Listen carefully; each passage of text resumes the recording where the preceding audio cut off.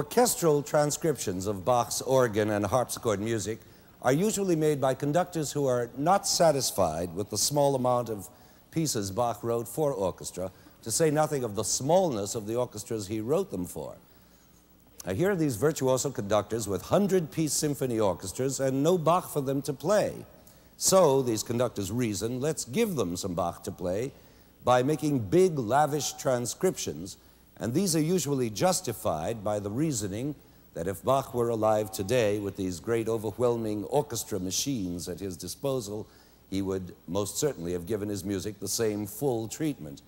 I'm not completely sold on that argument, but uh, many other conductors are, most notably the great and beloved maestro Stokowski. He has made many Bach transcriptions over the years, and one of the most famous is of this very G minor fugue we just heard. And so here it is again in the grand Stokowski manner. Of course, ideally, a Stokowski transcription should be conducted by Stokowski himself. And guess what? We have been lucky enough to persuade the great maestro to come and conduct it for us in person.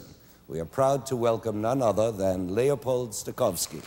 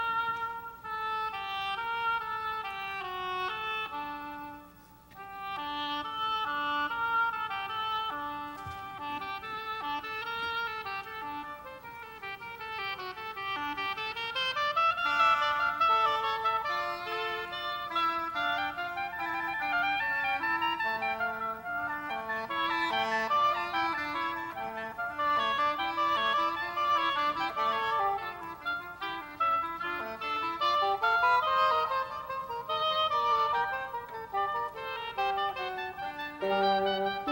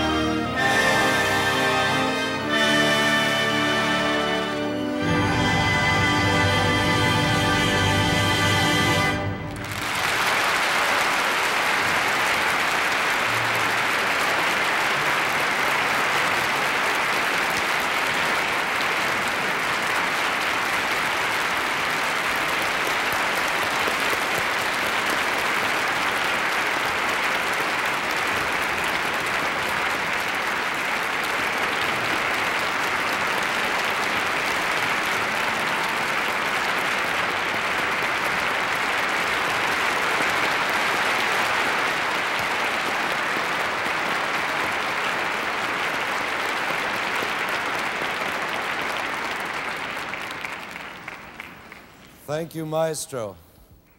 And what a glorious sound that was.